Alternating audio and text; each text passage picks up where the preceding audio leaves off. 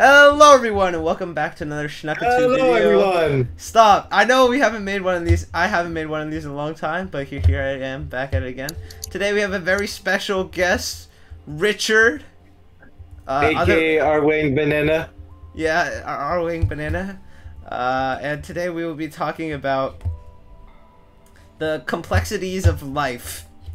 And Minecraft as a metaphor. Exactly. All right. So, uh, would you like to introduce yourself, Rich? Yeah, hey everyone. Uh, my name is One Rich. second. One second. uh, pause. Pause. Pause. Pause. Like All a right, dolphin. Sorry, sorry in my ear. guys. Sorry guys. We're we're back. Uh, my roommate just got angry at me for being uh, slightly too loud, so now I've quieted down, and now we're gonna. I don't have any recording. roommates, so I I could be very loud. I don't have any roommates, so. Oh, okay, that's great. That's great. Anyways, uh, so would would you like to introduce yourself, Rich? Sorry, we we Yeah, kinda, so basically, yeah, yeah. My name's Rich. I sing T2. Sometimes I'll. Yeah, no, I, I just mainly sing T2. Um, uh, would you would you like to ex- what what does singing T two necessarily mean, Rich? Singing T2 means I sing tenor 2. Basically, tenor 2 is uh, a subpart of the tenor sections. Um, essentially, think of it like you're writing uh, white paper, right? Exactly. What what's what's a You're- white paper? Well, how does how does a white paper differ from a brown paper or a yellow paper? Let me first explain why it relates to white paper, and then I'll differentiate the white paper from other types of papers. Okay. Okay. Okay. So first, you know, let me explain why it's a white paper. Okay, Exhibit A. When in your white paper, you have a problem section, right? Exactly. A problem you want to solve, some societal problem that has Mm. And a some solution section. solution. Exactly. Exactly. And that's your main heading, like problem section. You know, whatever you'll name your problem section, it could be like navigating the obstacles of the music industry, makes right? sense. Makes sense. Um. And then Exactly. within that, you'll have uh, subheadings, right? And that's kind of what like the tenor to it is to the tenor section. So subheadings act as almost like um, kind of like a way to break down what's already broken down. You know I mean? Exactly. It's like taking taking an atom and splitting it apart. Yes. Nuclear will- fission. yeah, nuclear fission, kind of like um, what's that movie? What's Oppenheimer. that movie? Oppenheimer. Oppenheimer. Oppenheimer. Yeah. Exactly. So you're you're basically saying T2 sections are like the Oppenheimer of acapella groups, right? They're I would. Yeah. Yeah. Yeah. Not only are they in charge of being the subheading of this the heading Wait, splitting let me pose up- this to you. Let me let me let me interrupt you. Sorry, let me interrupt you. No, okay, no problem, no problem. please, please, please Can state I, your have you ever heard of like Soprano two, Soprano one? No, I haven't. I have not. Why is it? Why is it that T twos get their own you know cool little you know sub thing, right? Uh, I, I would argue that it's not very cool. It's rather like more of a uh, identifying tool in order to separate out them from the rest of the acapella group. I I disagree because the tenor twos have this unique voice that's Yes, that's it's, unneeded. it's genetics. See, It's look, gen- it really is just genetics. You mean it's excuse me, excuse me. I'm talking here. Please, please be May, quiet. may I interject? Thank you. Um, Excuse me, excuse me, sir, sir. I'm talking here. Please be respectful, okay? Look, okay. you you uh, hypothesized that the T2s are like the subheading to, to to to a white paper, right? Well, like I would the like Oppenheimer. Yes, Like the well, uh, well, Oppenheimer to the well, movie theater. Yeah, exactly. It, well, if we subscribe to that notion, I would like to entertain the argument that perhaps, just like some subheadings and some uh, uh, subheadings of a white paper are unnecessary, perhaps the T2s are unnecessary to an acapella group. Why have a T2 when you already have T1? Just make it T. Well, let me just say this. I think you're mitigating the effects of the tenor two section to the point where their their voices become ephemeral. You mean? So what? I mean, I think you're essentially voiding the purpose of tenor twos to the a cappella group. And you're not, you know, giving the light of day that that the tenor twos deserve. Excuse me. Um, yeah.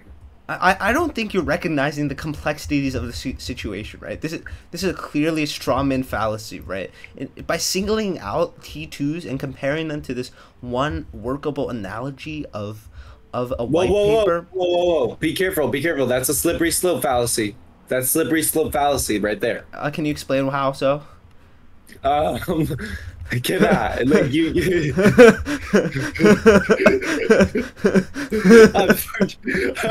Unfortunately, I cannot. But that's okay. You mean I learned that in my 11th grade uh, American literature class. You mean when we were studying The Great Gatsby. You know what I mean? I, I do not know what you mean, sir. You know, you you remember The Great Gatsby, right? I, I, I- I have I'm very familiar with the beautiful, beautiful text of the Great Gatsby. Yeah, The Great written by- Gatsby has a lot of like metaphors and analogies and you know Yes, of course. of course, alliterations that you know fall into logical fallacies. You know what I mean? Of course. And um, like you Of know, you know what ad hominems are, right? Of course. I, I'm a very well read student in the field of American literature and English. Please do not doubt my abilities. This is ad hominem. Excuse me, excuse me. You're, you're currently using ad hominem right now. You're attacking my character and my English abilities in order to build upon your own argument when we're only simply arguing about the idea of the utility of the T2 section within acapella groups. So please get it very clear, okay? We're not arguing about my capabilities as a human being and processing English. We're simply arguing about the complexity surrounding the T2 and T1s within acapella groups. wait. okay? That that's a hasty generalization. Whoa there. Whoa there. I'm just saying. I'm just saying. And speaking of marginal utility, um, like I think you're kind of like forgetting marginal benefit. You mean? People are always, you know, saying marginal utility that, marginal utility this. What about marginal benefit? You mean? I, I think this is a. I I forgot the name of the fallacy. This is this is a, uh bystander effect fallacy. You know, um, like Red sometimes. herring? Is that what you're trying to say? Red herring? Uh, yeah, perhaps, perhaps, because like the concept of marginal benefit and marginal utility are very similar. So by in order by using like jargon and confusing terminology to confuse me, you're like avoiding the argument itself and trying to win this by a virtue of using unfamiliar terms. Mm. That's a false dilemma.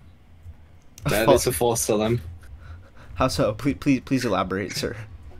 Cannot elaborate on that one. Uh, It's some things are meant not to be elaborated on. oh, Yeah. this is uh, uh, okay. That is something. I, I I- was taught, I, I was taught that in um ninth grade intro to foreign literature.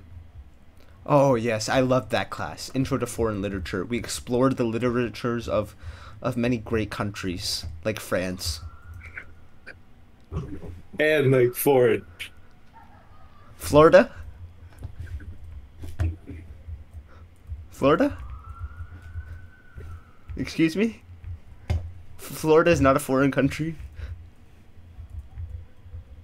Hello? Yeah, foreign countries, yeah. Then why did you say Florida? I like foreign countries. Ever Florida? been to one? I've been Ever to Florida. been to a foreign country? I've been to Florida. I'm talking foreign countries. Ever been to a foreign country? Oh. Uh, I like France.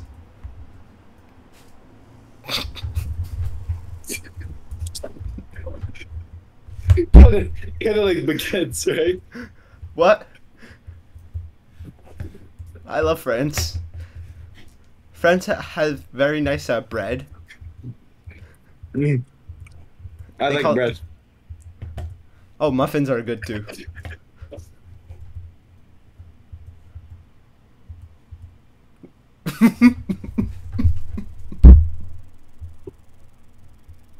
I like scallion pancakes. That's just mine. That's just my Oh. personal. yes. Like, are scallion pancakes cong you bing in Chinese? Yeah, yes, that that would be correct. Good job for being cultured and worldly. Nice. Did you know my foreign uh foreign literature class ninth grade? Yes. Yes. Did you uh yes, of course. Scallion pancakes. Um Oh, did have you read the essay by Sung Ming Ho about the effect of scallion pancakes in American stock markets from 1990 to 1922? I have, I have. It's quite profound, you know. I know. I Like, think who- I think it really affected the uh, railroad industry. Um, exactly. Like Rockefeller was definitely not happy with that. it- he was um, not. He really was not. I mean, Yeah, like, that. one I could mean, argue. I think that. Wait, no. Like, can you let me finish my sentence before oh, you so- speak? I, I, I'm sorry. I, I'm sorry. Like, Thank you. Okay, you let. Yeah, it's my turn to speak. Thank yeah, you. go go ahead. Um, go ahead, please, please. I think that's why Rockefeller Please- doesn't like please the. Chinese. That's just my Excuse me? hypothesis. what? Because of that critical argument and how it like significantly affected the uh, railroad industry. Are yeah. what? What? Uh, can we please That's keep just- pol- politics out of this? That's my hypothesis. Like, I, I One might argue that's my proposition. Okay, I, I can understand. And. I would even extend that argument to say that that's a justificatory uh, proposition. Well, I, I understand. Pol- politics plays an important role in our society today, right? But Or would uh, that be an explanatory proposition? excuse me? What? Justificatory proposition or explanatory proposition? Uh, what? What would it be? Explanatory or justificatory? I, I, I don't I don't know. You tell me. So, anyways, um, what were we talking about?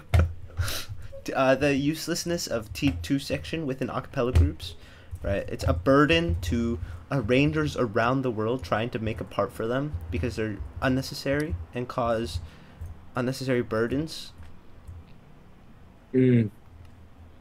I have this quote that went in as my senior quote, and it goes like this To each their own. You mean?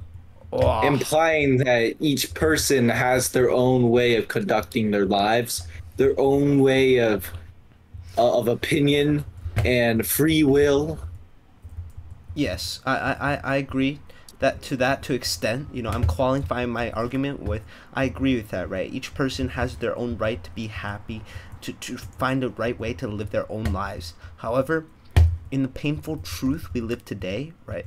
Each person provides a marginal benefit and marginal cost to the society. Mm. So if And if it, and if we if we are to maximize, you're saying if we are to maximize, yes, if we are to we would have to maximize that, find we would find marginal we, benefit. Exactly. yep. We must pick out the people that have the most marginal utility in our society and try and replicate as many of them as possible, right? It, it, it is not like just like the T2 section. Just because wait, wait, the T2 but- sections are do you self- know that- Excuse me, sir, sir, sir, ex- sir, sir, excuse me? Please let me finish. Sir, I'm not. Please- do you, do you eh, know what the law of Please let me finish. Please let me finish. Do you know what the law of Please let me finish. Sir, sir, sir. So as I was saying, just like the The T2 law section. of marginal diminishing. re- You're the law of marginal diminishing returns. Ooh. Because the more you talk, the less value it adds to the conversation. Ooh. Oh. Look at that ad hominem. Can't say anything back to that, can you? I'm quitting this podcast. All right. Thank you very much for listening. Uh, tune in Wait, tomorrow. let's talk about Cold Wars. Cold Wars. Tune in next time to, for to listen about us talk about Cold Wars. Thank you very Thank you. much. Make sure to subscribe. Make sure to like if you like this type of Follow us on the podcast. yes, comment down Uh, below. And follow Okay, us on the goodbye. podcast. Um, yep. Goodbye.